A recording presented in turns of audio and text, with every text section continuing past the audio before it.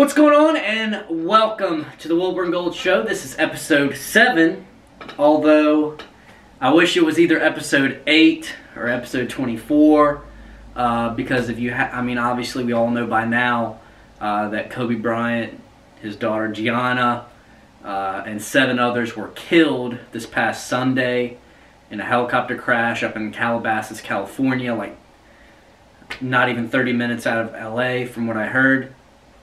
Um, you know, three days have passed. It's Wednesday, and you know, I'll just kind of give you my initial moment of finding out.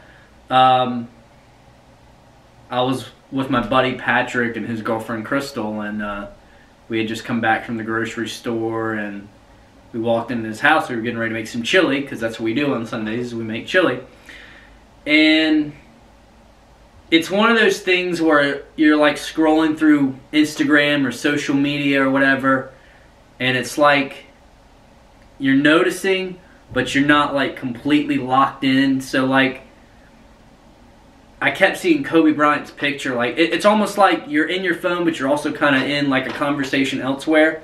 So you're just kind of scrolling, and I kept seeing Kobe Bryant's picture on Instagram, but that wasn't uncommon because literally the day before, you know, he was already trending on social media with LeBron because LeBron James passed Kobe literally the night before uh, on the all-time scoring list. Kobe was three, LeBron was four, and LeBron leapfrogged him in that game in Philadelphia against the Sixers. And so I guess I just didn't think much of it. I wasn't paying attention to the captions. I just saw Kobe. Uh, so we go in the house, and um, I saw somebody post a picture of Kobe with heartbreak emojis. And I was like, huh? And then I saw another one with heartbreak emojis. And I'm like, wait a minute. That only happens when something terrible, usually death, has happened to somebody. But I'm like, that doesn't make sense. And then I saw another one that said, Kobe Bryant, uh, 1970. I forget the the day he was the date he was born. It was 1970 something to 2020.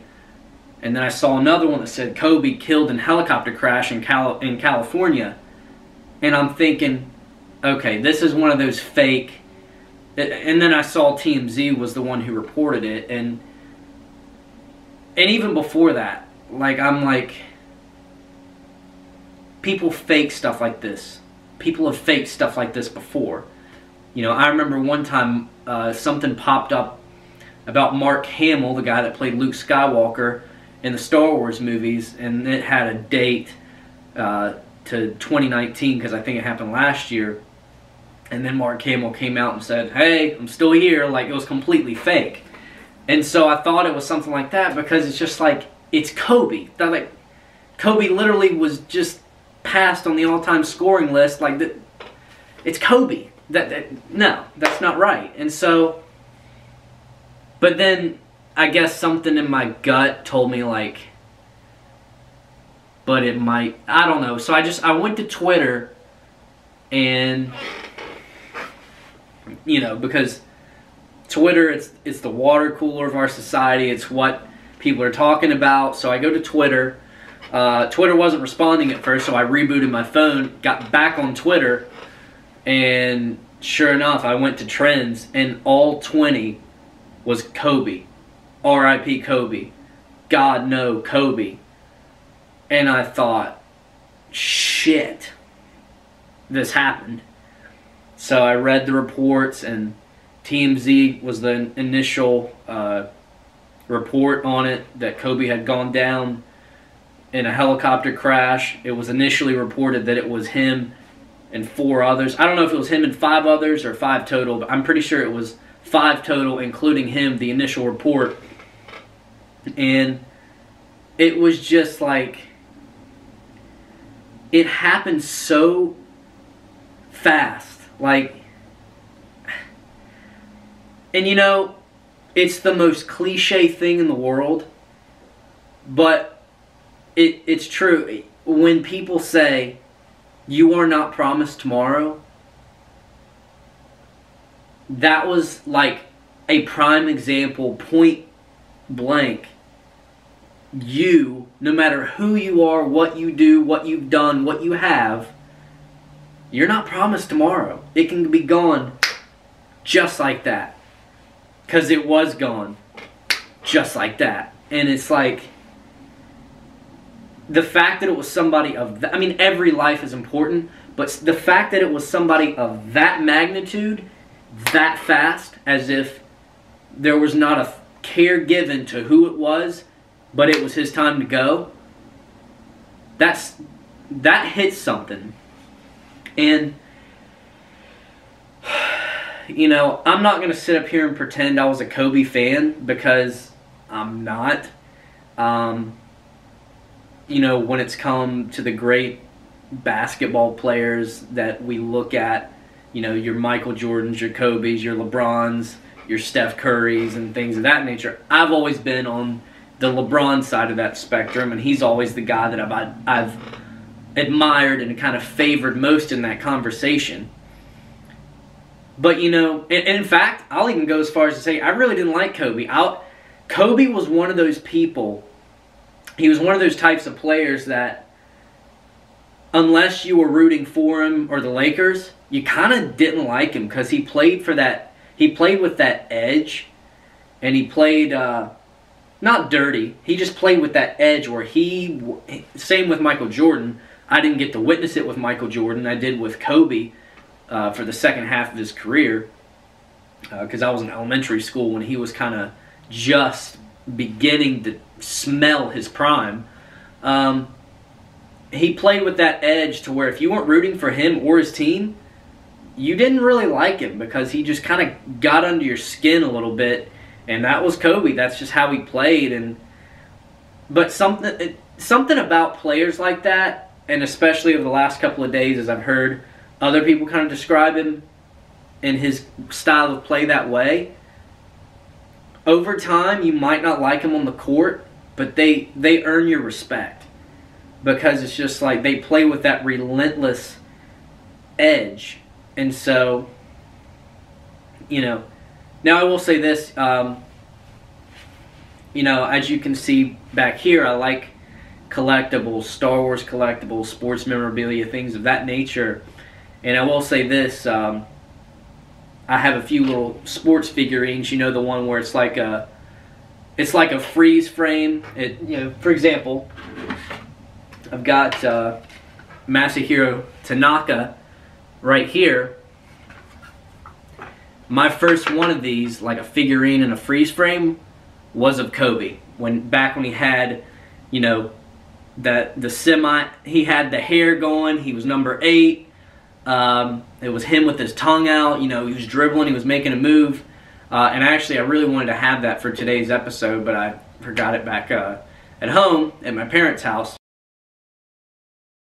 One of any sport, any player, any team, first one.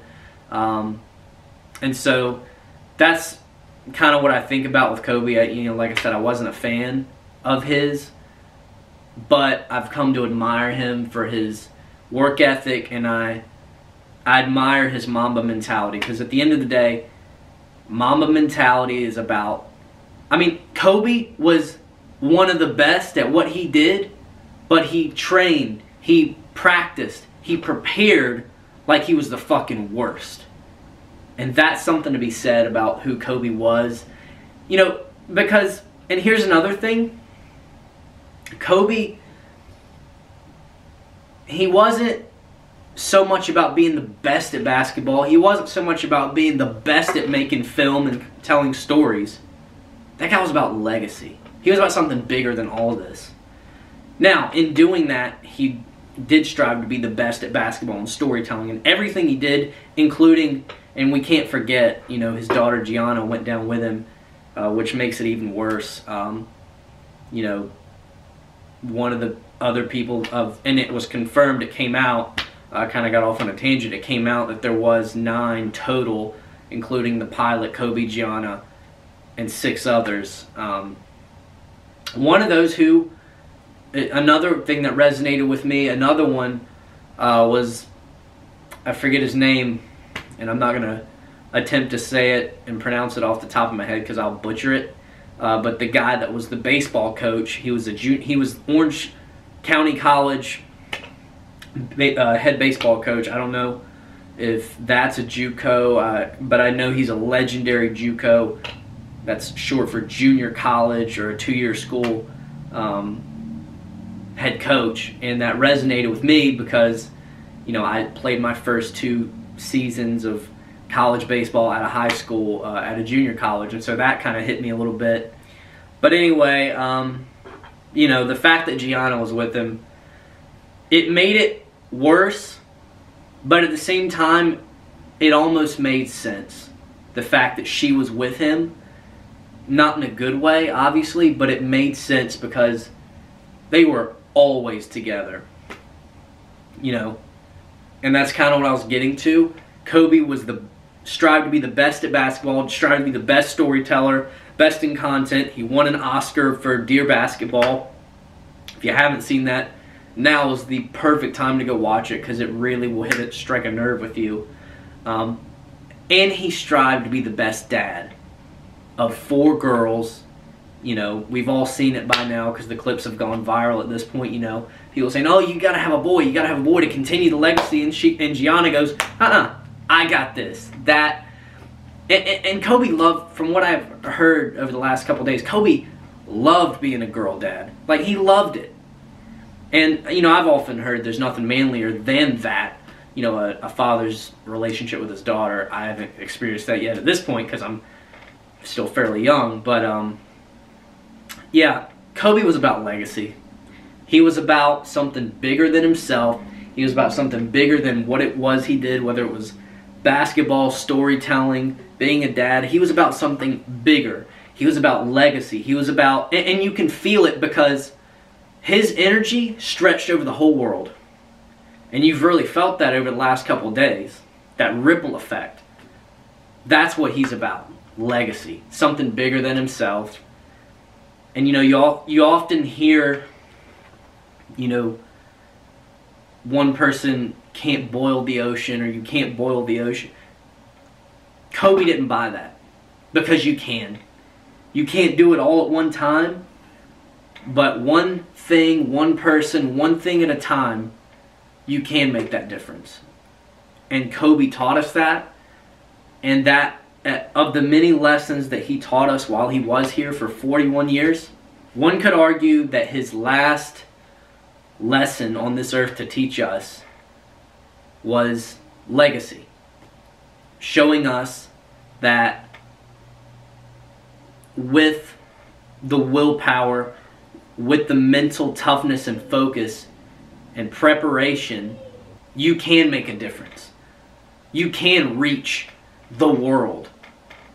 When you do it in your way that you're meant to do, prepare the work ethic, put in the work, when you strive for legacy as opposed to money or something in the short term, but you're for something bigger, you're for the big picture, you're for the legacy, that can send a shockwave through the whole world. And I think that was Kobe's last lesson to us. Thanks for watching.